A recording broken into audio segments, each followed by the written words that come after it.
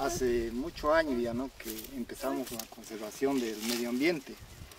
Pero a pesar de tanto costo que hubo, ¿no? Y contradicciones de la gente, oposiciones y todo.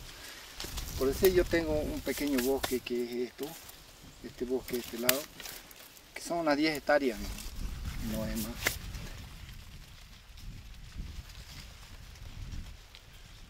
Pero con eso eh, me estoy beneficiando ya con las cajas de abejas y también ahora ya con las plantas frutales, ¿no? Y ojalá haya un buen éxito, ¿no? Porque eh, más enseguida ya uno se va haciendo más viejo, más viejo y no puede trabajar.